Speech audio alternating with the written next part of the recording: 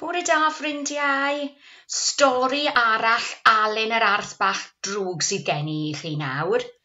A teitl y stori yma ydy Alun yr, Iar, Alun yr Arth a'r iar fach yr haf.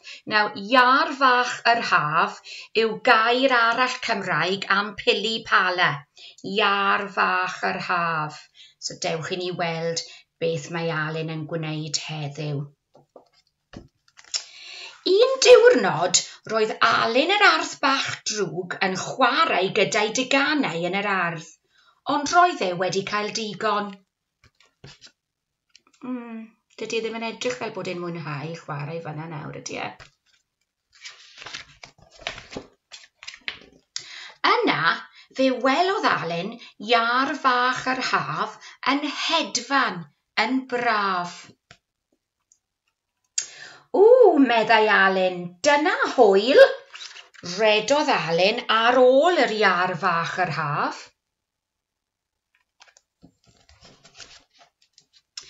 Redodd Alun drwy'r lein ddillad. Alun! Gwaeddodd ei fam, ond nid oedd Alun am wrando. Mm, dydy mam i ddim yn edrych yn hapus iawn. Gwthiodd heibio i'w dad, a bu bron iawn iddo a'i daflu e a'i ysgol i'r llawr. O, beth mae dad i'n mynd i ddweud tybed? Alun! Dwrdiodd ei, ei, dwrdiodd ei dad. Rhaid i ti bwyllo! Paid a redeg ar ôl i arfach yr haf, rhag i ti brifo i ar ddamwain. Mm, dydy dad i ddim yn hapus gyda Alun chwaith.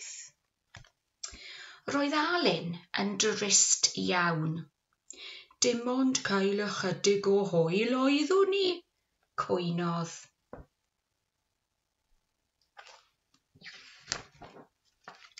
Ond beth oedd yn ei boced? Balŵn! Dechmygodd Alun ei fod yn hedfan yn uchel yn yr awyr. O, chwethodd a fe chwethodd a fe chwethodd y balŵn yn fawr iawn iawn. Alun! gwaeddodd ei dad o ben y to ble roedd e'n trwsio'r simne. O, ond yn rhy hwyr. Saethodd y balŵn i'r awyr, gyda Alun yn gafael yn dyn wrtho. O na! gwaeddodd Alun. Byw na i?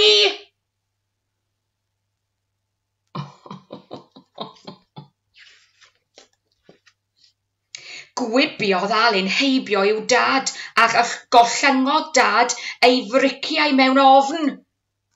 O, oh, Hei! meddai Alun, mae hyn yn hwyl! Wii! Alun! blwyddiodd ei fam. Dere lawr! Dere lawr!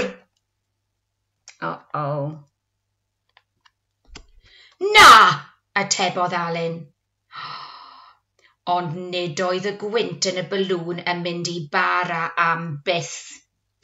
Ffwt! aeth y balŵn.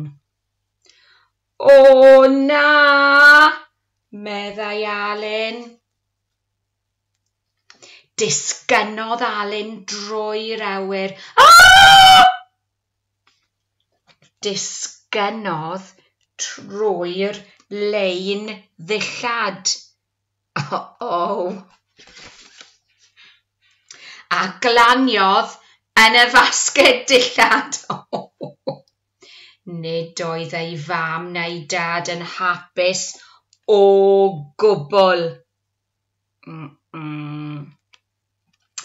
Efallai, meddyliodd o Alun, Nid ydy arth fach fel fi i fod i hedfan fel iar fach yr haf. A dyna ddiwedd y stori. Gobeithio bod bo chi gyd wedi mwynhau. Hwyl am y tro, ffrindiau!